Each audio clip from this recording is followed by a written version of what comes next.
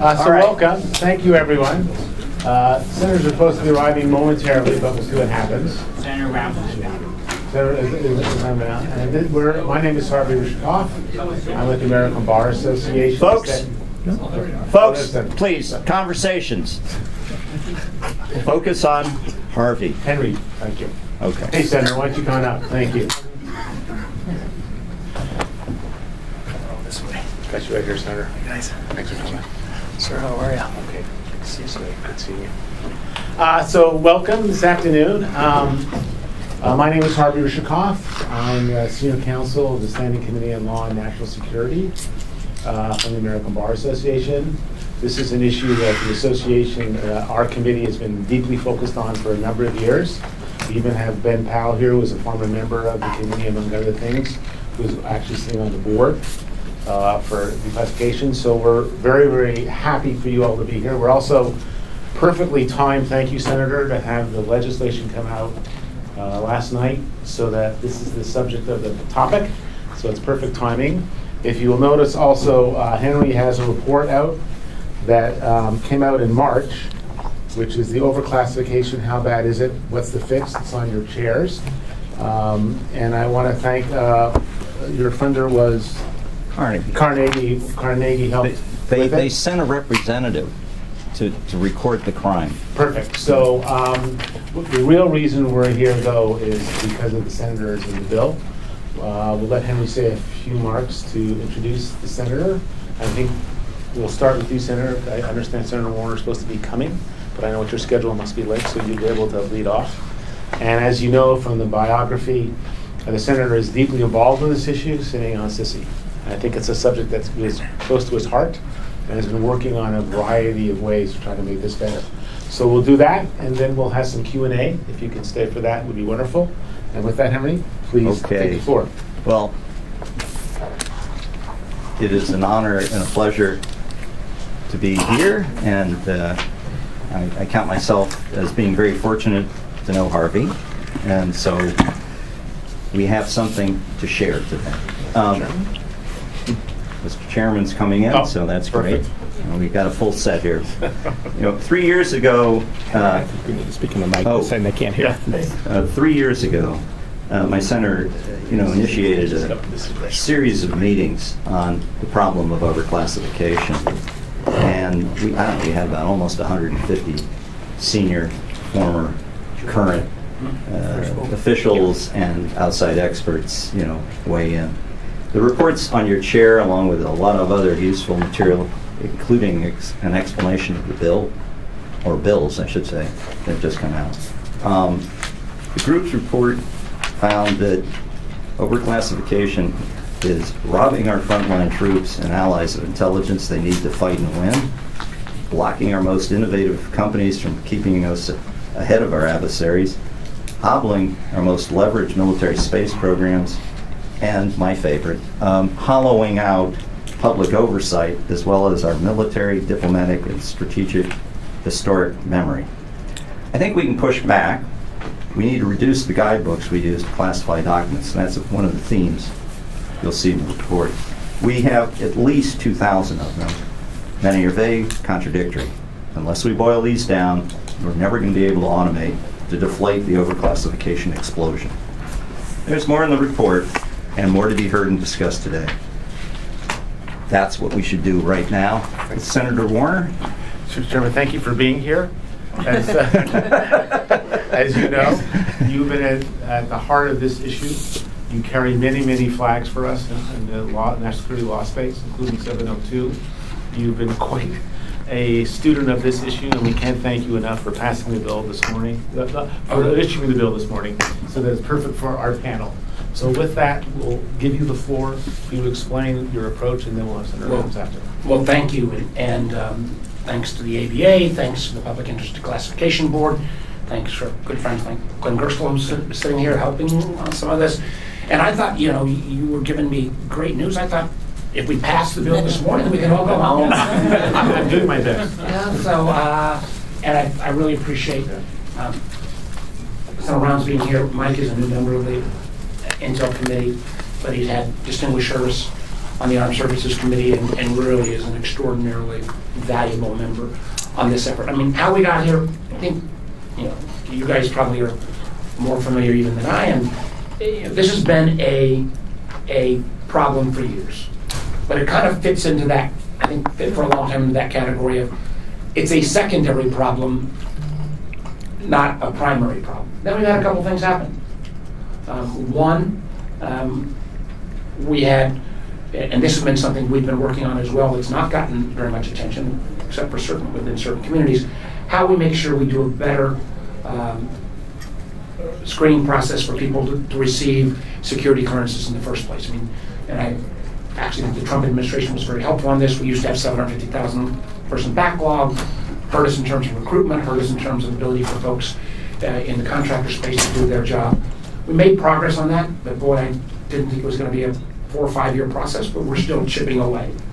Then we had the problem more recently, last fall, of the potential misuse of uh, documents by a former president or current president or former vice president uh, that kind of moved this mo- moved this issue. Then we had the, what I think was an extra spur was the um, recent leaks uh, that Air Guardsman Teixeira um, appears to have been deeply involved in. All of that coalesced uh, a bipartisan group of us on the intelligence community to say it's time to actually um, put up a piece of legislation, or a couple of pieces of legislation, one a little more narrow, narrowly tailored, one that is, is much more extensive. And what we do in that legislation, and I think everybody's gotten a chance to take a look at it, and Mike, this is a group of uh, lawyers who will ask us all the details, so I'll be quick on that, my top end, so you can get to the, the prodding and prying questions. Um, We said, First of all, somebody's got to be in charge. The idea that each and every agency sets their own criteria of what needs to be classified versus not classified really doesn't make any sense. And it, it's leading to that this tsunami, of documents. It's leading to the things that everybody here has already mentioned. It's leading to the fact that we can't even share with our allies.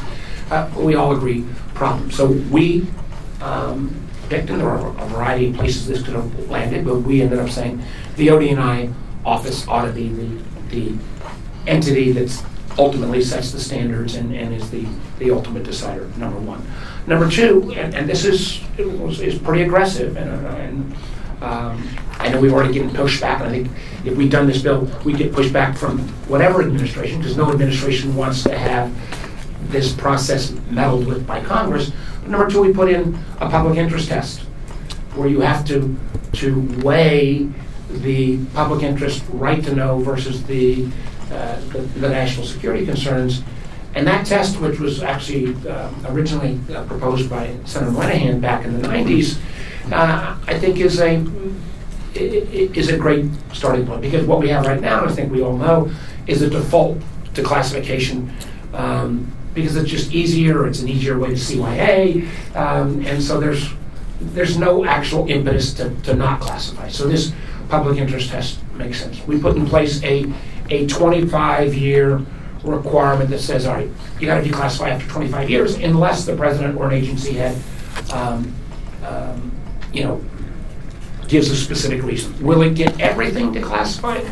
I'm not ready to go there. I know some of my colleagues want everything mandatorily declassified. I think there could be cases still of sources and methods, but at least it, it puts the pressure on, uh, on a declassification basis. It also says, all right, let's, and this is again, this is a, this is something I'm sure people can pick some holes in, but I think we're directionally right. It, we, in, in effect, almost put a taxation policy for agencies that overclassify. Now, we're not taking money away, we know that would never be fully utilized, but it would say, all right, if there is this overclassification, those penalties would then be reallocated within that agency uh, to a fund for, for further modernization and, and digitization. Um, we also put in place, because of, the situation with um, uh, the most recent leak, a, a requirement to have consistent insider threat programs in place. I, I think it is very safe to say, um, candidly, because of some of the mistakes that were made in the past at the NSA, uh, that the NSA's you know insider threat process is is because they've learned the lessons, was much stricter, and an insider threat process that ought to include, um, you know, how often you use copy and how often can you walk out with a bunch of documents without any requirement? You know, why in the heck does an IT specialist get to see all of these documents in the first place as opposed to just the header? I mean, this is kind of like 101, and I don't think, um, eh, and I know there'll be some folks from DOD saying, no, we had best practice. I don't believe that at a National Guard facility, but, you know, uh, we put that in. And then finally, we, something that's generated, uh, I think some of the initial press commentary, uh, which again is kind of a no-brainer in my mind, which says before a president or vice president packs up their boxes, which we all know was kind of done in a hurried fashion and, you know, kind of arbitrary decisions about what a personal document is versus a, you know, classified document, you know, the general rule of thumb has been if it's classified, you can't call it personal unless you affirmatively declassify that. But saying, let's let the archivist actually get a review. I think most folks who don't want to make a mistake on classification would welcome that assistance uh, to make sure they don't get themselves put in a place that ends up being slightly uncom- uncomfortable. There's a host of other smaller pieces, um, but why don't I why don't I leave it there and are we going to go to Senator Rabbit? Yes, absolutely. Okay.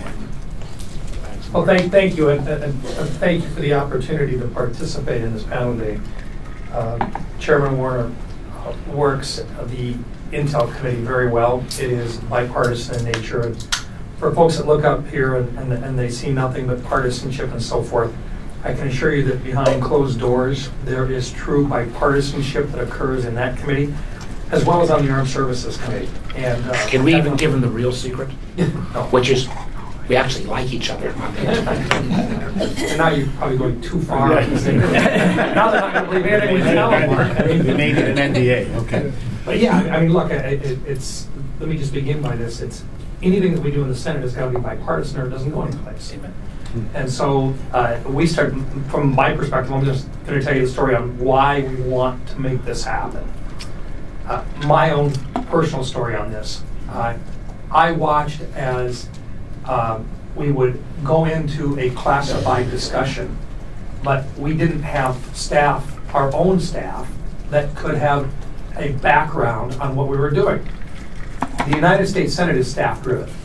And if you want to get something done in a, in a Senate office, you have to have had communication between the staff members. But if the staff members can't get access to some of the material, the chances of getting that in front of a member of the Senate gets significantly reduced. What I found in terms of serving on the Armed Services Committee was that as a member, I had access to items that were significantly classified.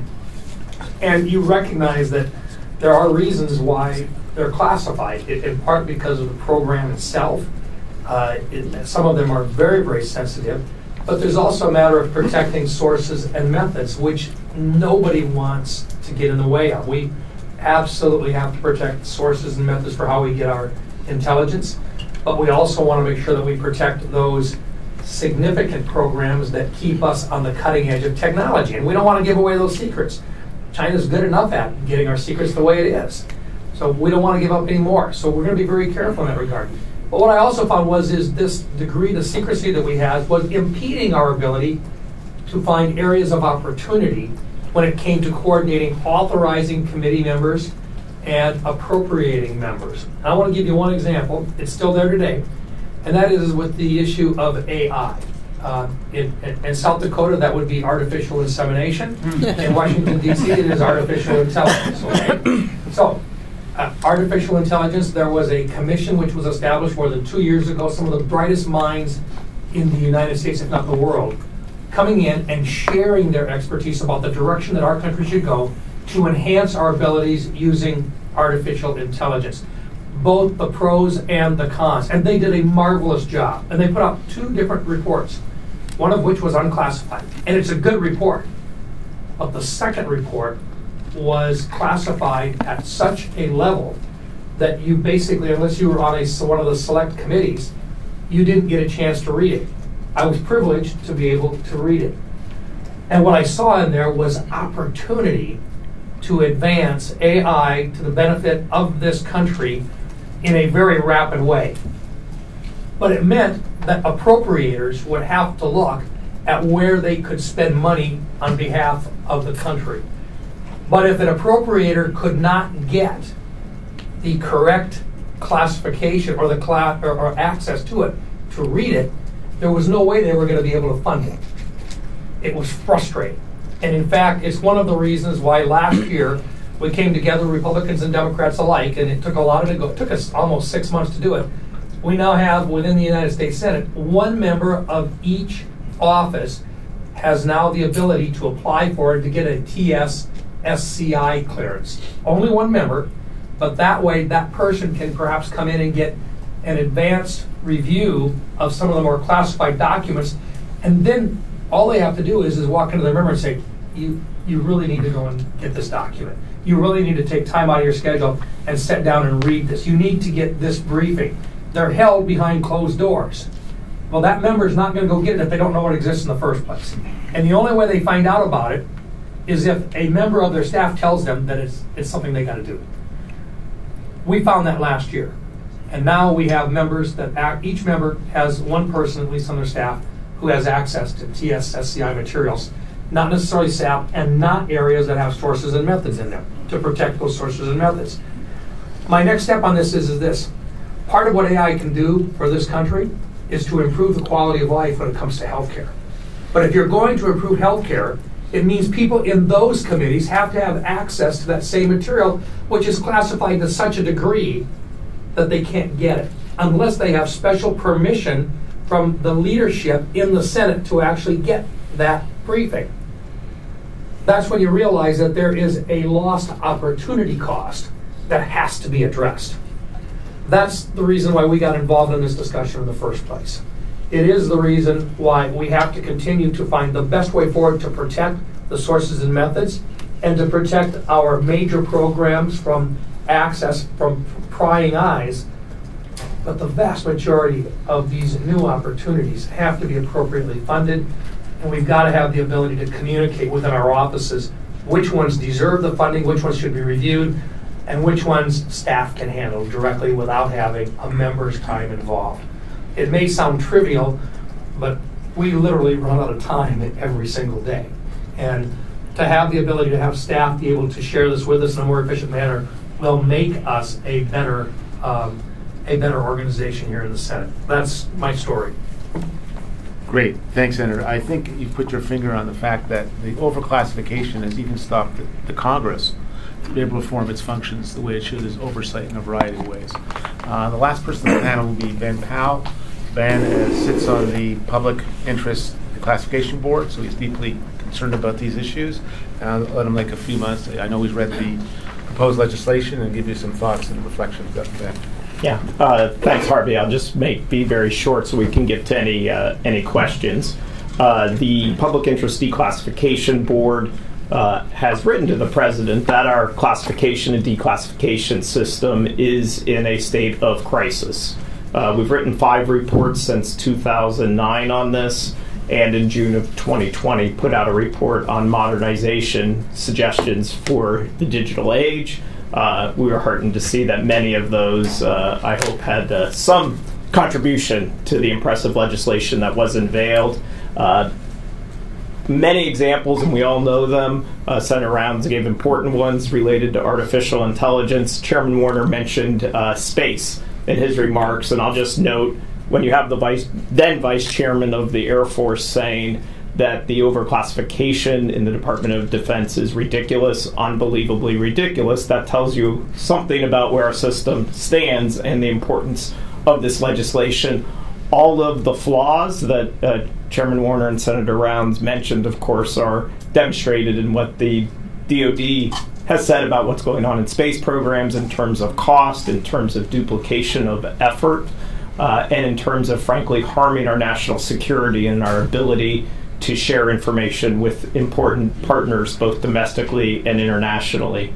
I'll just finally say we're greatly encouraged by this legislation. This is not a glamorous topic, uh, but it is a vitally important one uh, to the infrastructure and plumbing that underlies our uh, national security. Uh, the community, both the intelligence community, the defense community, the energy department, and others, of course, are going to need resources, personnel, and frankly, commitment uh, if they're going to address this. So I would just say this is an incredibly important piece of legislation, and uh, we're greatly encouraged uh, to see it unveiled. Great. Um, I'll ask the first question. One of the issues when one went through the two proposed bills is the number of entities that are involved in coordinating the process that you guys have laid out. And part of that is also the amount of funding that you've allocated. And as Ben sort of raised that funding issue, I think you spend billions of dollars in classifications and very little on the declassification. So are you thinking of waiting that? Is that going to be something that's going to be addressed in the future? What is your sense about how that will be coordinated, Senator? Well, I, I think, you- right, I think we've seen, um, I think the number, to call this Five, five, bi- five million. five million, Five, yeah. which is not going to be enough. Um, But I, th- the overall cost of classification, wasn't it 18 billion? That It- the- it- Depending how you do it, coordinating, it's, it's billions and billions of dollars. Right, we've seen an 18 billion it. yeah. You know, and, and, yes, at the end of the day, the funding needs are gonna, are are gonna be bigger than we laid out, but we didn't wanna, you know, the art of sausage making is, we didn't wanna scare people away with the price tag on the front end. No sticker And if shock. we can do, say, you know, if, if we can, you know, dramatically cut back, I think there is, there are savings. I do think, you know, the, one of the, um, um, the notional proposals we've got of this, you know, almost quasi taxation regime Right. within an agency Yeah. that would, you know, and again, this, the devil will be in the details on how we get that, uh, if it were to get through, how it gets implemented, but that could actually redirect some of the funds to make sure that, Right. on the declassification. Yeah, just one thought on that also. It- it- The the five begins it, but then after that, it's uh, funds as may be needed. But along with that, let me just share with you, just to get them to move off dead center i- is critical. Uh, The National Geospatial Intel uh, Organization, okay, uh, the NGA, they last, in, a couple of years ago, what they found out was, anybody here serve in Afghanistan? How many Afghan vets we got here? Got a few? Okay. Afghan vets found out, they're going to smile on this one here. Afghan vets found out that while, when they got to Afghanistan, they needed overhead. They needed to be able to see the pictures of what's going on on the ground. These folks here, they have spectacular abilities to show things, but it is so good. They really didn't want the world to know how good their capabilities were, so they weren't sharing the pictures they were taking in Afghanistan. So what our vets have to do? They went out to the commercial market and bought commercially. What did the NGA figure out? They figured out that if they were going to survive, that they better be able to at least take these items and declassify them. Well, they've got 65 different guide guidebooks when it comes to classifications. It only took them five months to fix the problem. That was it. So this is a doable deal, and it can be made more efficient. And it's more than just the costs involved in classifying. It is once again the lost opportunity that we have right now that we are not assessing when we talk about how much it costs to declassify. Five million. Think about what it means just in terms of the ability to have uh, those capabilities if you're fighting in Afghanistan and you need to see where the, the enemy is and you got to buy a commercial picture or to use commercial access rather than to have the finest that's out there because we really don't want anybody to know how good we really are. Those are the decision things that we have to address here. And to echo what Mike just said is, you know, we also had a problem in Afghanistan of sharing with our partners, which, you know, their troops as well. Right. We have done better, and just suffice it to say that the quality of sharing in, in terms of the Ukraine cons- uh, conflict is better. But Mike's dead on that. We were going to have Robert Cardillo, who was, you know, Yes. director of NGA, and we have some NGA members here, and they went down from, I think, 56 or 65 uh, classification guides to two. But he's out, he couldn't get here because he's declassifying, declassifying more documents. So Right. as a result, he couldn't get here. But let me ask Henry to ask a quick question. I was very pleased to see in your bill that after 20 years, you were going to give him some money, dedicated staff. Now, the Public Interest Declassification Board is probably a bigger secret than most of this SAP programs. Now, you have made a big mistake in letting people know that it exists and you want to fund it. Got a question for you. How would you like to use them? Because I think they should be used, but I want to know what, what you guys think you, you should use them for. Well, I- I I would say, look, the perfect system, in in my opinion, would be if we had uh, committees within the House and the Senate that were basically subcommittees of Intel, Armed Services, and so forth to actually have oversight of it. But if not, the next best thing would be to have this be kind of that advisory board to actually take and to look at the, at, at the different approaches and hold the agencies accountable for actually getting some of this stuff done and explaining why or why not they're getting uh, things automated, but also the fact that, um, that there is a process which is going on. If the, if the NGA can do it, the other organizations can do it as well. And I'd simply add, if we are successful in putting in this, um, you know, public interest test on that initial decision, whether to classify or not, we ought to have somebody that's going to be informed enough to potentially arguing the public interest and the right to know side, and that's where I think the, um, the board would come in. So at this point, I'd like to open up to questions. Do you have any press that want to? Go ahead, sure. Yeah, it's a straightforward question. Um, what do you see? Why don't you say who um, you are for the? uh, Rachel Oswald, uh, CQ roll call. Um, what do you see as far as um, timelines for this? Do you think this could be offered as an amendment to the NDAA? Um, are you, or, or is this kind of maybe a next year bill? And um, what do you sense about where the House stands? Well, let me, um,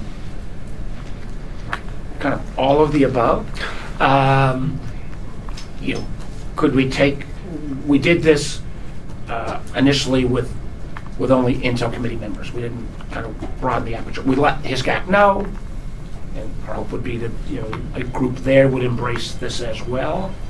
Um, We've not done a major socialization with the House yet, but we know there are, you know, large cohort of people who are interested in this issue, and whether it got in total attached, or whether we got pieces of this that went into the NDAA or the Intel Authorization Act, you know, we're actively working, at least what I've got some jurisdiction over, the Intel Authorization Act, are the component parts that we can, that we can put in. But part of this, again, let me be, be, be honest enough to argue that, you know, some of this stuff whether the public interest test and/or the notion of, of a penalty uh, for an agency for overclassification, I mean, that's going to stir up some controversy.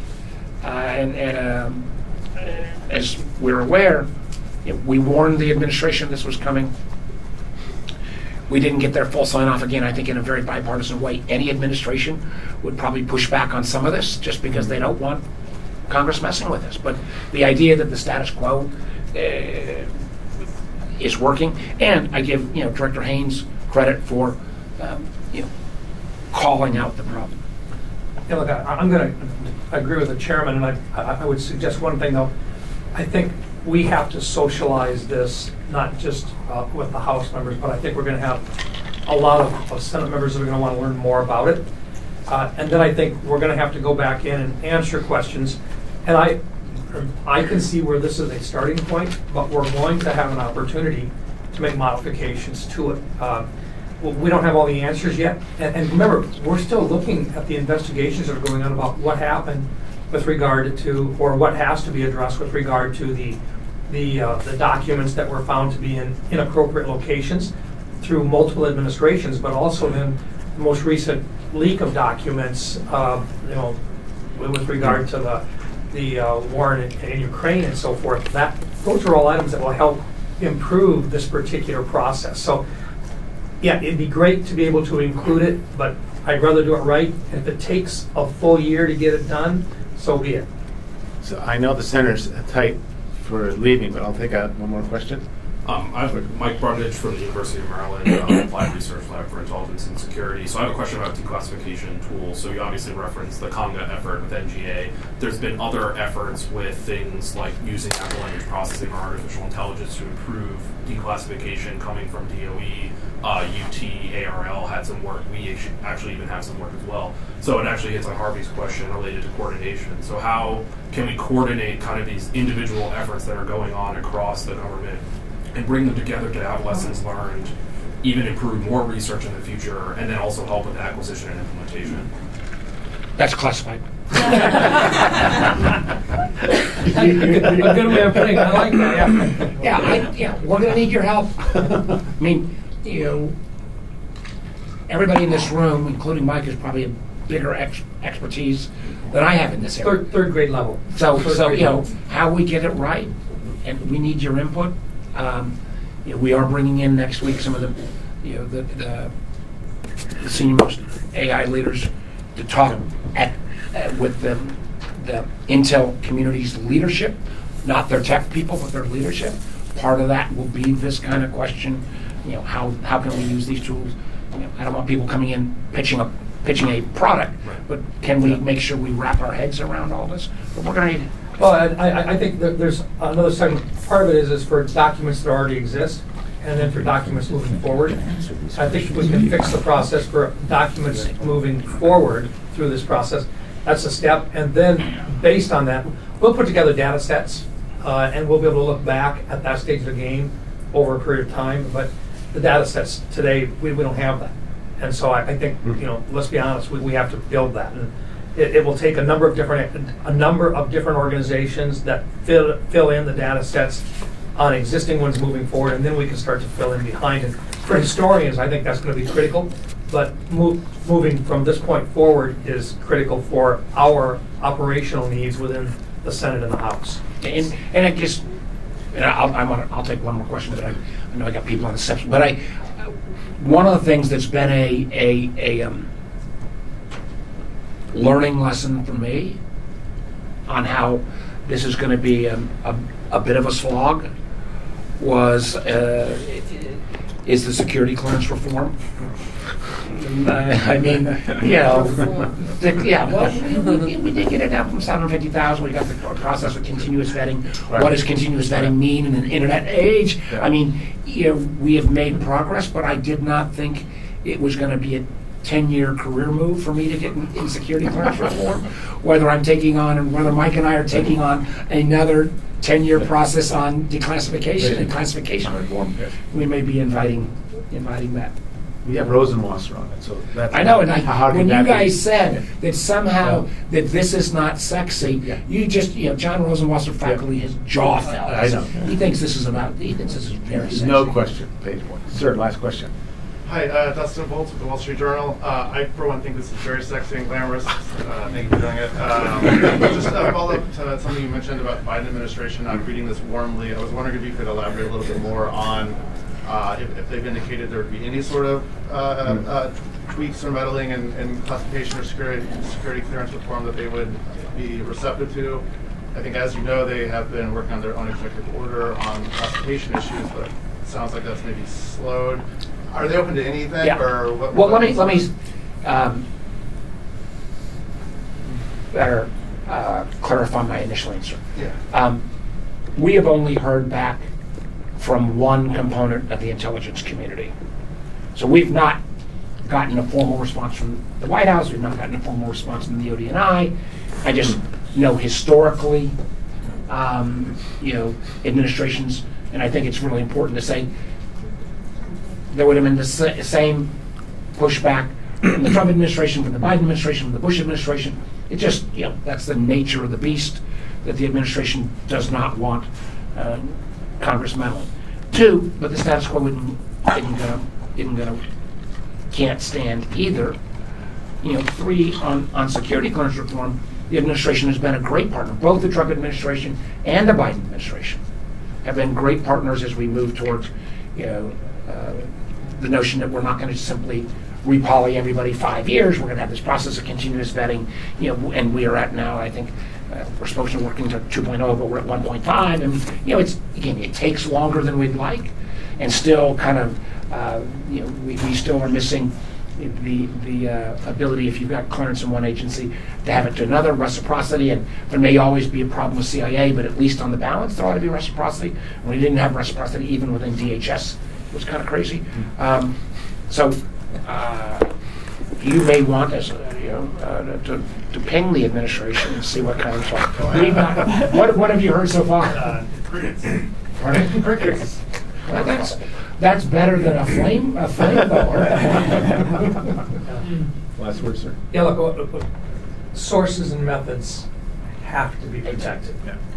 And so as we move through this, do no harm, but also recognize the opportunity that we are missing now to save lives and to promote a, a- better economy in this country, uh, to promote a better defense in this country, and to actually provide additional insight as to how good some things actually work are all items that you have to weigh.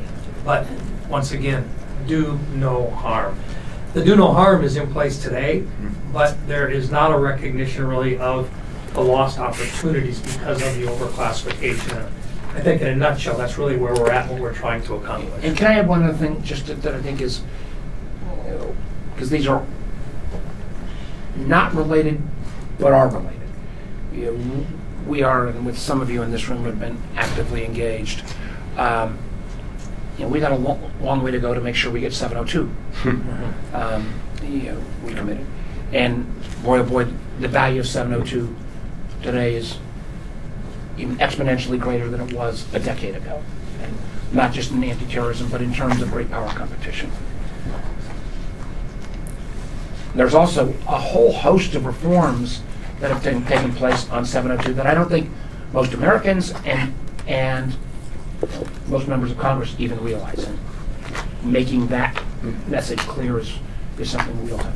If we are at the same time moving towards less classification and more willingness to say the public interest has a right to know, I do think that helps us in the 702 debate. So they, you know, all of these these panels around gaining the American public's trust uh, that these tools are going to be used carefully and and and not widely uh, against any group of Americans, and that you know that the CIA doesn't really know where the secret of Bigfoot is and not been being kept kept secret. Um, you know, proving that we're we're good stewards of information. Uh, I think does help us on 702. Great. And I, I, I'm going to leave Thank you mic so on here, much. but I apologize. Thank you so much on behalf of the ABA and NPEC. We really, really want to thank you for what you two guys are doing because you're showing bipartisan action can live in 2020. And, by, and I also want to make sure I give a, a shout out to uh, John Cornyn as well, who's Okay. another veteran, a, a leader, and Okay. obviously Ron Wyden and Jerry Moran. Thank you, thank you, gentlemen. Thanks. Thank you. So we'll stay for a little bit. We have Ben Powell and Henry here. If you have any more questions, want to discuss anything in the report, please feel free and fire away. There's an outside uh, chance the Senator Manchin may be coming as well. Okay, but we'll have to see about that. You know, But any, any other questions, uh, Ben? Do you have any more thoughts, uh, given where you sit, what you, and your reactions to the, to the proposed legislation, what you like and really like? Well, just very quickly, um, because we fall into uh, jargon and everything whenever we talk about this, I'll say the report of the Non-Proliferation Policy Education Center, somehow they got permission from the government and Sandia Labs to republish their slides. So on the NGA slides, uh, on the consolidated uh, uh, classification guide, uh, what they had in place and what they have now, very interesting uh, if you want to learn more about it. Uh, there's also slides in there from uh, Sandia Right. uh, around the idea of, of AI, use of natural language processing, and other these. So there's some very, uh, in addition to the report itself, that backup material with primary source material from some places that you rarely see slides uh, being published are very interesting. So I won't go through all of the NGA pieces, but that is, uh, you know, an example that many people talk about and is uh, and is left in there. And I, I think the importance of this you know legislation is is that it is starting the conversation. I do think, in terms of the administration, as you know, Director Haines uh, has raised this as a very important issue. So it is not something. Uh, so it is something that we have seen maybe uh, for one of the first times in terms of Director Haines, of course, traveled down to Texas uh, to the Johnson Library and the Clements Center for National Security to give a speech uh, at the conference directly addressing uh, overclassification for the PIDB event we, we held down there. So, you know, that the fact that she was willing to take that time to go down to speak about this issue, about the importance that it has for her, and how she sees that as a problem for for the community and for national security, says something about uh, where it sits on her Sure. priority list, and and you don't see that necessarily from other uh, leaders of the intelligence community in the past. Um, just simply because of the tyranny of the inbox and all the important things they have to deal with. So, I don't know what the administration's reaction to the legislation will be. A lot of it is uh, part of it is codification of things in executive orders and other pieces, giving a statutory mandate to certain organizations. So we'll, we'll just see what the um, what that is. But you know, to date, it seems like both DoD and Director Haines have been public in ways I haven't seen in many decades in talking about this problem as not just a problem of well we have all of this backlog of material but as we mentioned about in space operations and other things seeing this as a problem with current national security and how it is actually doing harm in our ability uh, to advance the ball centered around science technology in other areas. So this is not just perhaps as it might have been looked at in the past as like, well, we have some dusty archives and there's more things being added to the dusty archives, so don't we need to declassify the the the, the archives for historians at some point? All of that was very important. All of that's part of the public transparency. But it seems like this is now moving to a more current and more urgent issue actually affecting our operations and national security. Senator Rounds talked about the situation in Afghanistan. Uh, I was in government during Afghanistan, during Iraq, and all these pieces, and a lot of different issues that I saw in the overclassification world and the ability to share with our international partners. Well, I mean, I'd like to build on that. I mean, three years ago, I mean, I started this as a result of a personal experience I won't get into. Let's just say uh, the problem of overclassification is more bizarre than you can imagine. It's not, it's worse than what you heard today, is my view. Um, and it gives vent to a lot of mismanagement, to be blunt, that we should not tolerate. This is our government. I think what's changed is precisely what you, you said. Instead of us thinking about classification as something for, you know, footnotes for buddies and scholarship, it's turned to something in the future, which is how are we going to wage information campaigns? How are we going to share uh, with equals rather than uh, you know, protectorates the kinds of information we need to win against adversaries who are going to possibly get into a hot war with us? All of that is much more demanding and new, and I think we're turning our gaze to it. I have to say, if it wasn't for that 21 year old, I'm not sure we'd be here. Well, I think one of the issues that was raised is this is all like a huge snake. And the other issue that many of us have been involved in is the, was highlighted by the chairman is the concept of clearances. The clearance system is broken, the same way the overclassification issue is broken. And they're tied together mm-hmm. because people get in trouble in clearances discussing issues that they do not think are classified, turn out to be classified, and next thing you know, they're pulling their badges. So it really is endemic to the system, and it's great to start trying to approach the problem. Uh, Director Haines is a bit of a unicorn because she's an attorney and a physicist, and actually sat on our ABA standing committee for a number of years where she was a member. And she, I think, is a member who clearly understands, as you said, the importance of the problem. Do you have any other questions that you guys like to ask, or would- yes, go ahead, sir. Hi, Jim Dalbo with Congressman Austin Scott's office. Sure. Is there an ally or a partner around the world that gets declassification, overclassification right there? Well, So we don't have to, I mean, that, uh, we have a hundred Yeah. There is an Australian chapter Yes. in, the, in the book, and I'll let Henry discuss the Uh, Australian approach. Let me give you the uh, good news and then the bad news. The good news is the Australians uh, reduced the number of classification categories they have, which, in my book, we should do. We're adding them. It's absurd. My favorite is, what is it, controlled unclassified information. CUI, as you know it as. That's, that's your laundry list, okay, or your menu for the evening. I'm kidding a little, but they use that and have uh, at times to keep things from Congress, which is not right. They got rid of several categories, and everyone pretty much ignored the reform, and then COVID hit. And they couldn't get to their machines to hit the classified button. And all of a sudden, everything was working perfectly. Oh, you want to know what the bad news is now? They got over COVID and they went back to the office. Uh, it suggests that if we want to solve this problem, perhaps we should create some kind of illness that would keep people from going to the office so much. It might be helpful. There is a instinct and inclination when you're in front of that machine to press those buttons and not think. So you can reform the, the, the various uh, rules and guides and even reduce the number of clearances. But if you don't get people to understand that overclassification harms our security, I don't care what tool you come up with.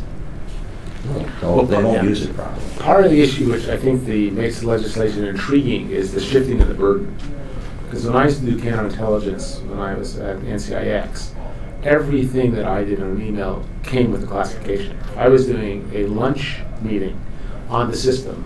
It, the fault had to be classified. So what the, what the, what the legislation is shifting the default. So the default will be, the assumption is you should be able to declassify the material in the interest for public interest test. And you have to make an argument why it should be classified.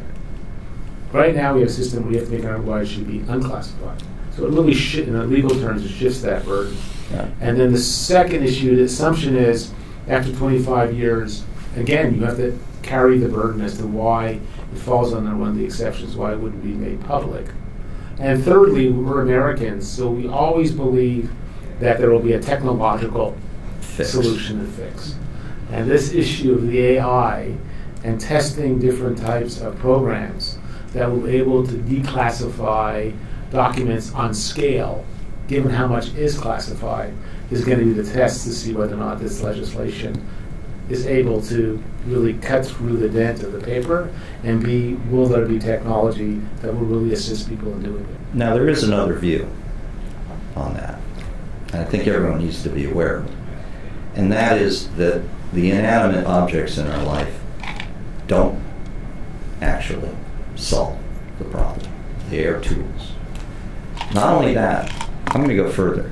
The legislation, if it should pass in the House, uh, last I heard, they're part of the constitutional system we have. They have not said boo yet, so they may have other ideas may not be the one and done, and I don't think the technical things will be one and done. We will, in fact, start soon, I hope, what I would call, uh, there's a guy named Steve Blank who calls this innovation theater. And I'm all for that because you do need that tool. But we've got to get a demand signal into the executive branch to want to do these things and use these tools when they're perfected. And that depends probably more on the press and the Congress than they appreciate. So Ben, one of the questions for you is to comment on any of this, but if we could have a magic wand, what would you use that wand for in order to build up the resources of the public interest classification board? Oh wow! There Um, you go. Well, um, first, there's some fixes to the to the board that are in the legislation, particularly around. Um, the board has on on uneven uh, operating history. At one point, uh, fell out of authorization um, uh, completely and went into complete dormancy. Uh, and then, of course, uh, we were down to two members at one point. Um, so there's some just legislative technical fixes that I don't think are controversial around uh, once members' terms uh, expire, you're off. Uh, unlike in many boards where you continue to serve until a replacement is named and cleared. Since we're talking about clearances, of course, anytime you have something that requires high level clearances, TSSCI clearances, uh, that can take a while, and so that's one of the fixes in this legislation. So by magic wand, there's just some basic fixes to the board that need to happen. Um, we've got some people from the National Archives here in the Information Security Oversight Office, and they do. Uh, they, if anyone knows about ISOO, they have an incredible mandate, uh, classification government wide, and are no way resourced uh, to do that job. And on top of that, uh, we add on to their burden uh, supporting the board and uh, doing things like the report that actually resulted in, I think, uh, we hope, made contributions to this legislation around modernization of the of the uh, declassification and classification system. It's available on the PIDB website. Uh, so those would be, I think, important things in terms of resources and fixes to the board uh, to ensure that ISOO has its resources, the board has the resources to support this work. Congress in recent years has added mandates to the board uh, without a budget or without uh, supporting resources. That has included now a study on uh, uh, nuclear testing and fallout in the Marshall Islands. Uh, you can read that report if interested. That was a huge effort, um, largely uh, among staff uh, at ISOO who had many other tasks at the same time. So those would be the kind of fixes um, that we would look at on AI. Just to return to that for a moment, it is a tool. Uh, the board has looked at different technology issues over the years and talked about them both on the blog and in our reports. And I'll, I'll just say very briefly that there's a lot of things we're talking about using artificial intelligence and machine learning for in terms of self-driving cars and healthcare and very what I would call high-end things. We are looking at using this, and I would hope the community looks at using this to process text. We're not asking it to drive cars. We're not asking it to fly planes. We're not asking it to do these things. We're asking it to do text recognition and then obviously do a lot of complexity and processing around understanding where this may fit in the classification system and whether it's appropriate for declassification. So this is, to my mind, uh, right in the prime sweet spot with these incredible advances of AI and machine learning in this golden age we're going to be in.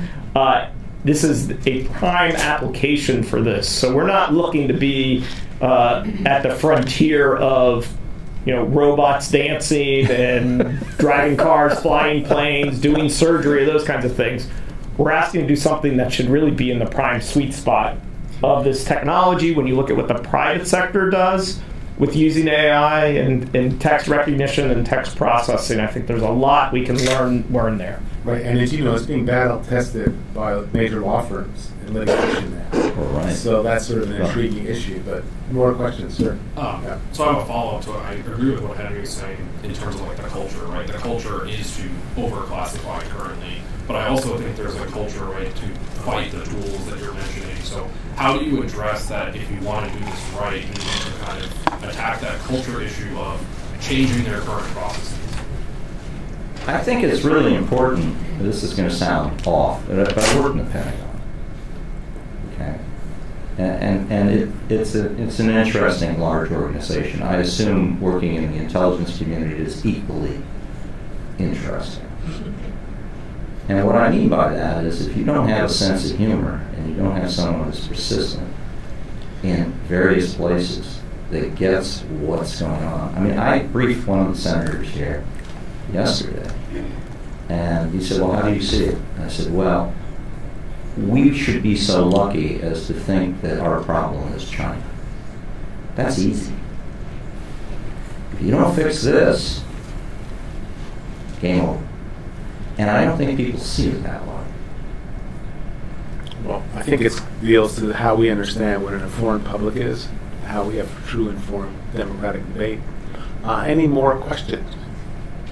Well, I do have one Oh, we, announcement. oh, we know what's, Yeah, okay, sorry, one. go. So Senator Warner talked a little bit. Wait, say who you are. Oh, sorry. I'm I'm Brad Gates. I actually worked on Conga along with. Uh, You you might Yeah. tell people what, Oh, Conga's the. look at the. The dance is. yeah, acronym, dance. this is an acronym-free zone. It's an acronym for a Consolidated NGA Classification Guide. It's the slides that we developed are actually in the report along with Taylor, Mike, and um, Right. Steve in the back. So, uh, Senator Warner talked a little bit about like a tax, uh, whatever that means, on, on overclassification. Is there anything in the legislation or is there anything anybody's been talking about about the back end of that in terms of having some sort of protection for the individuals that are actually trying to drive lower classifications that aren't going to drive lower classifications because they're afraid they're going to get an unauthorized disclosure and then personnel security is going to come crashing down on them. They could potentially lose their job, their clearance, livelihood, etc. That really is the very mm. simple explanation as to why overclassification exists in the federal government. What is being done to address that side of the house? Well, We're hold- we're holding this meeting, it's being taken. So I think what's helpful about that is, as you're saying, is if the default is going to be, it needs to be unclassified. The theory is the person who wants to maintain a classification at what level, they have to make the case. And then, as you're saying, if the case is not made or doesn't carry the day, there needs to be a process in which those individuals would say, I'm following the law, if this becomes a law, that there's some safe harbor that you have to demonstrate there had been a process, an argument made to keep the document classified. At that point in time, was considered not a winning argument. It became unclassified. And they also have in the document, if it turns out that that was an error, it can be reclassified. But it has to again carry a very strong burden of proof to make sure that you can do it. I think what your, your question is, will there be a process that protects those individuals in order for them to make the argument or reject an argument for classification. That's going to be, I think, the sticking point as you put your finger on it. We also have some ISOO members. Would they like to uh, join the the fray here? I- I'm a, a law professor, so I cold call all the time. So, uh, anyone from ISOO would like to talk about anything that they'd like to deal with? No, we're good. No, we're good. I might- We know that's not true, but that's great. I, Yes, Henry. I was ready, I mean, the, the reason I wrote the report is we had had all these meetings, I spent a certain amount of money, and I felt guilty, you know, maybe I should write up the findings. And so I did. I was not planning to bother with this topic. Uh, It seemed to me to be, you know, pretty much a lost cause. I think at some level it still is. But because of the events um, I have to hand it to the Wall Street Journal. I, I owe you something, I don't know what. Well, we're on the record, so let's keep Yeah, going. well, I mean, that they decided to spotlight this thing, and then luckily, we had this disaster.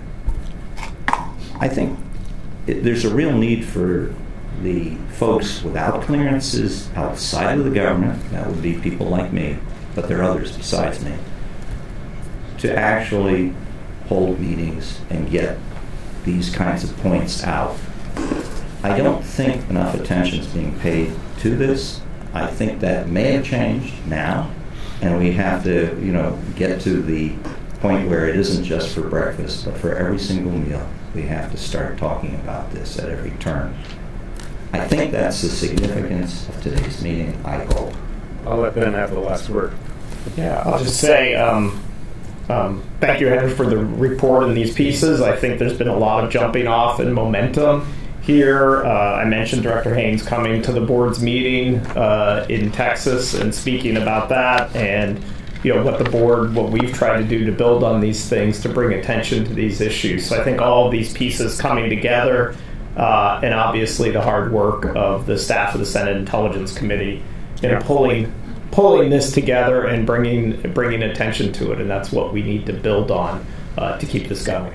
Great. Well, for the record, I want to thank Henry and NPEC for their lovely report. Sponsoring this is wonderful. Well, I we also wanna- co-sponsored. I want to also thank him because I wrote a chapter. He's a very light editor, and I always appreciate that. you do these things. You can send your editorial comments. But I also am thinking, if you're thinking of beach reading, This is something that's perfect, the way it's bound, so you can get stamped and still be off. So you can pass it around for gifts. And I particularly, for the record, want to thank the senators for having spent the time to come and do this. Well, And all of the yeah. extraordinary staff that make this happen. Yes. And particularly NGA for helping to set. Uh, But it's clear that could be done. May I add that there was an awful lot of support from Senator Rounds' office. Absolutely. And I, you know, to be Absolutely. honest, um, we're lucky. So to both the senators, the chairman and senator, and to the press that came, and hopefully we'll keep this alive. And I know there are many people who will be more than happy to talk to you on the record and off the record if you so choose. So with that, thank you so much. I'll give you half an hour back. And before food, take lunches back to your office. Yes. Or take the lunch home for dinner, but please feel free to take it. Thank you. How do you turn this?